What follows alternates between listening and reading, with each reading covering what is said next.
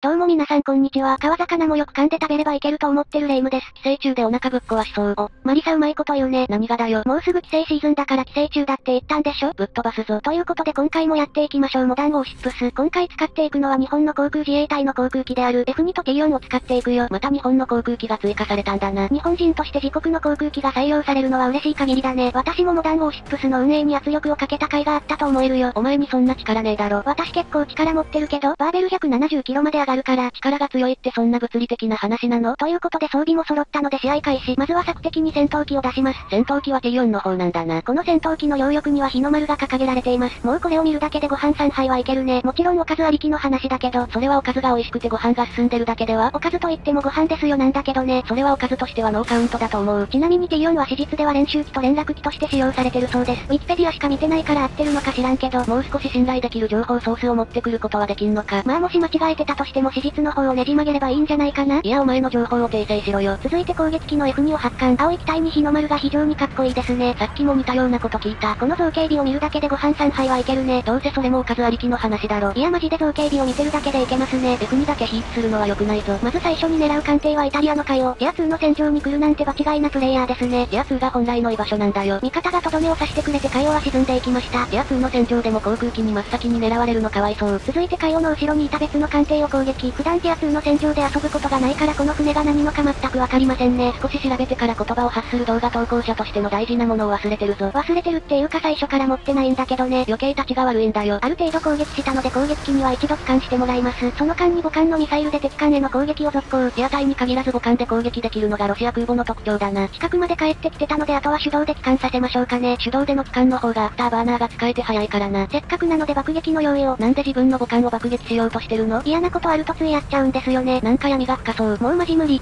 爆撃しよう。話の規模がでかすぎる。ここで視聴者の皆様へサービスショットです。これのどこがサービスショットなの？なかなか見ることのできない F2 のお腹です。いや持ってる人は別にいつでも見れるからね。なんかカブトムシのお腹みたいでかっこいいですね。カブトムシをかっこよさに例えるのはわかるけどお腹の部分だと話が違うだろ。F2 の修正に信頼できる人にしかお腹を見せないというのがありまして。ワンチャンかなんかなの？確かに巷ではそう言われてるね。言われてねえよ。平成のゼロ戦だって。全然違う話じゃねえか。ミサイルを発射したので横から爆撃をします。横からの爆撃って結構難易度高いはずなんだけど大丈夫丈夫なのか？心配しなくてもほとんど当たらないよ。ダメじゃねえか？あくまで私の技術力の問題なんだけどね。それは確かにある。鉄管の直上から突っ込んで対空機銃を受ける姿はジパングで見かけたね。だからそういう一部しかわからないネタはやめろって言ってるんだよ。じゃあ日本人なら誰でもわかるネタにしとく？それが妥当な判断。じゃあ最近悪化してる日本の経済、その中でもスタグフレーションについて語ろうと思うんだけど。わかった語ってみろよ。スタグフレーションって生活大変になるよね。会話の内容薄っぺら。でもこの問題は日本人が玉ねぎに免疫がついてなかなか頃には解決するはずだよ。その二つの関連性がわからねえよ。関連性について深くは言えないんですよね。この話は闇の組織、世界300人委員会が関わってるので、そんな大規模組織が玉ねぎ基準でことを進めてるわけねえだろうとそんなことを言ってると勝ちました。勝ち方ダサすぎない他のプレイヤーとはランクが違うんだよ。こういうとこでマウント取るのマジでダサい。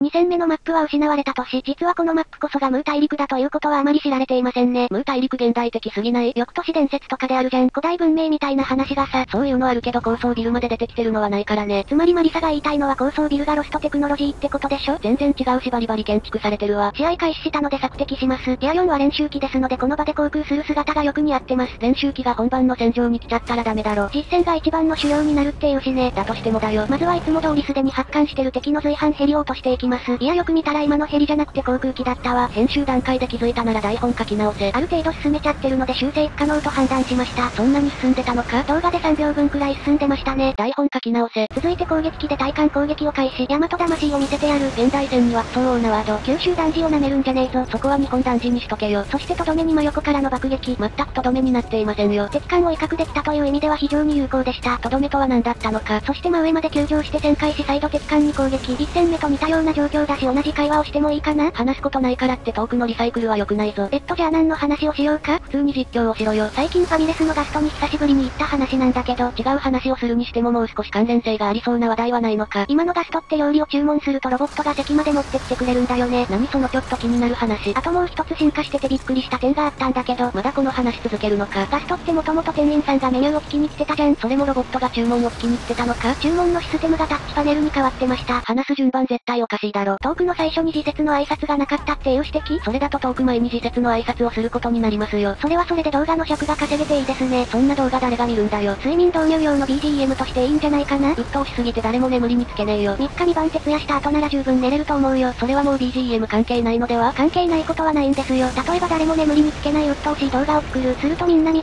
2晩眠りにつけなくなる。そして最終的に睡魔が勝ち眠りにつける。このようなアルゴリズムで睡眠導入 BGM として成立するわけですよ。なんだその回り回った導入作用。鉄管に最後のとどめを刺そうとしましたが味方がとどめを刺してくれました。ナイス味方。ここで対艦ミサイルを使い果たしたので一度母艦まで補給に帰らせます。もう門限も近いからね。攻撃機における門限って何時だよ。夕方の5時です。小学校低学年の門限じゃねえか。ここで残る敵艦は2隻になりましたね。残るは潜水艦と空母だけだな。とりあえず攻撃機の補給が終わってないので母艦操作を続行します。敵潜水艦から魚雷も迫ってきてるしそうした方がいいだろうな。潜水艦なんて恐れることはありませんね。今回私が母艦に搭載しているミサイルはトマホーク。ティア2で唯一水中発射できるミサイルなのだ。対潜水艦関係なくない？母艦操作の時は潜水艦を狙っていましたが攻撃機操作では空母を狙います。そのまま潜水艦を狙わないのか。今回の攻撃機には爆撃があるからね。それなら爆弾を当てやすい空母を狙った方がいいんですよ。それはお前の技量の問題では今のとこ爆撃が全然当たってないからいい加減命中させとかないとね。視聴者になんだこいつって思われかねないから。もうすでに遅い話だろそれ。いい感じの爆弾投下できましたね。結構いい当たりが出たな。ということで鉄空母に3つを撃沈。そして最後の潜水艦を対艦攻撃が命中して撃沈。お前のキル判定じゃなかったぞ。ということでどうだったでしょう？F2 と T4 日本の航空機ファンにはおすすめだぜ。今回の動画はここまでです。よかったらチャンネル登録していってください。TikTok と Twitter のフォローもよろしくだぜ。リンクは概要欄に載せてあります。それではご視聴ありがとうございました。